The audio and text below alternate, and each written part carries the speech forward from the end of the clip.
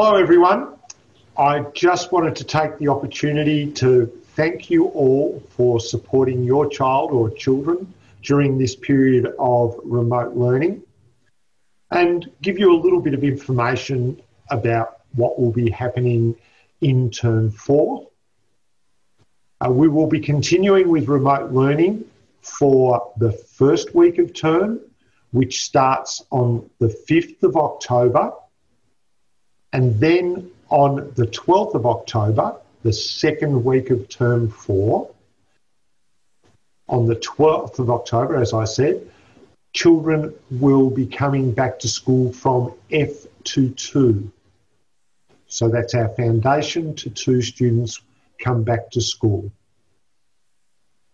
The three to six children will come back when we are told by the Department of Education that they can come back. We are hoping that that will be toward the end of October in the week starting the 26th, but we are not sure about that yet. We appreciate how difficult this has been for you to be at home with your children, although we know that while you're supporting their learning, many, many families have been having a great time doing that and having that opportunity to be together. And we also know from our survey that many parents enjoyed the opportunity to see how their children learn. And I know many of you got an understanding of how, how challenging it can be to be a teacher from time to time. What I am hoping is that you've been a little bit inspired by the staff at the school and can see how important it is for the children to have some routines.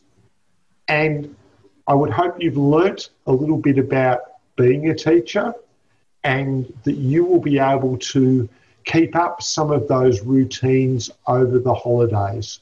Because the children have had such a long time away from school, it's important that some things stay a little bit the same.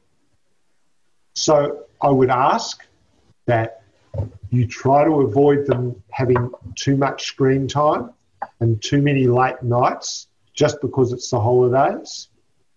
And during the day, as I said before, because you have learnt a little bit about being a teacher, that you provide opportunities for the children to do some of those really enjoyable things about school, like doing a bit of reading, perhaps doing some art and craft activities.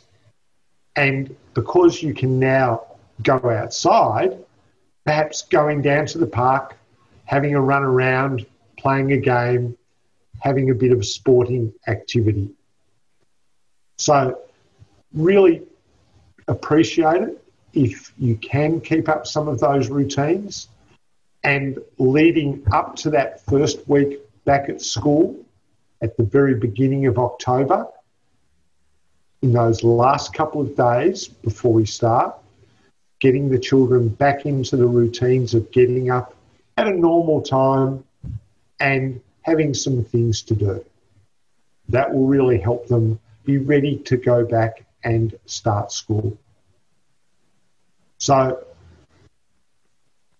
this has been tough for all of us, and I would ask all of you that you do follow the government's rules and don't do anything risky.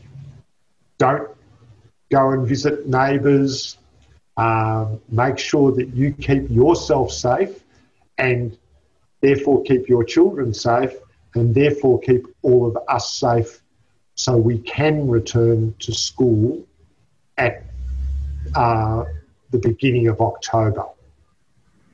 I wish you all the best for the holidays. I hope that you can all have a bit of more of a relaxing time and enjoy the outdoors a bit more as the weather improves and I look forward to seeing all of you very, very soon. Stay safe. Thank you for your help again, and there will be some information in the newsletter celebrating our students and our teachers and other staff. Farewell and see you soon.